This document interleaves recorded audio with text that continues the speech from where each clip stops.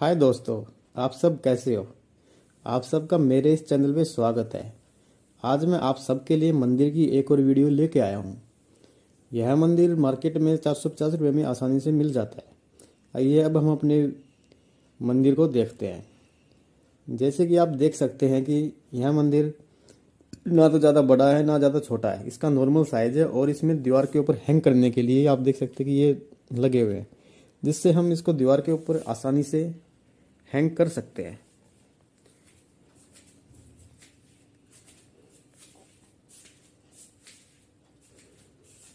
दोस्तों, ये हमारा मंदिर देखने में बहुत ही प्यारा है, बहुत ही सुंदर है। दोस्तों, आप देख सकते हैं इस मंदिर में नीचे एक ड्रावर दिया गया है।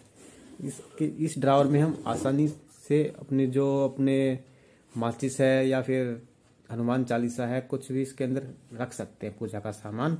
और इसके लिए इसमें एक अच्छी सी एक चीज़ दिखाई गई है, ये देखिए। जैसे हम इसके अंदर जो जोत लगाएँगे, जोत को हम यहाँ पे बाहर लगाने के लिए हमें ये दिया गया है।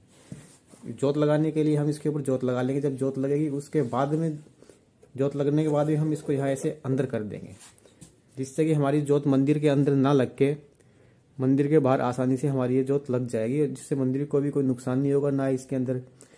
सीधा धुआँ वगैरह जाएगा जोत का।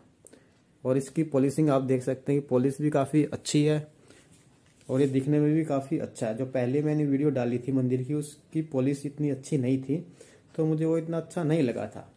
और इसका अंदर से आप देख सकते हैं जो इसका ड्रावर है, अंदर से भी ये काफ़ी अच्छा है।